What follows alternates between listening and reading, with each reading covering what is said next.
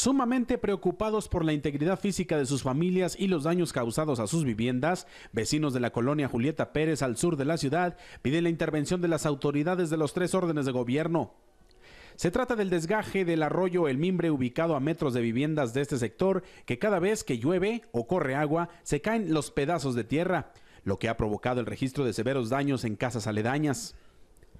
Norma Leticia Rodríguez Pérez, habitante de este sector, mencionó que en repetidas ocasiones han solicitado el apoyo de distintas oficinas, pero estas no han sido escuchadas. Inmediatamente fui a la presidencia, después me mandaron a Conagua y de Conagua me traen hacia vuelta y vuelta y no ha habido respuesta. Por eso les hicimos esta invitación a ustedes a ver si por medio de RSG nos hacen caso a que vengan a poner sus aviones antes de que suceda una desgracia. También Blanca Azucena Rodríguez mostró los daños de su vivienda y habló de su preocupación que al registrarse la lluvia su casa se venga abajo pues cuando llueve, pues a ver, cuando se derrumba y se mueve la casa, de hecho, y ya se hicieron bastantes grietas por dentro de la casa. Cuando uno camina así por el piso, se mueven los vitropisos donde ya se hicieron las grietas, donde están cada rato derrumbando. O sea, ¿tiene miedo que llueva?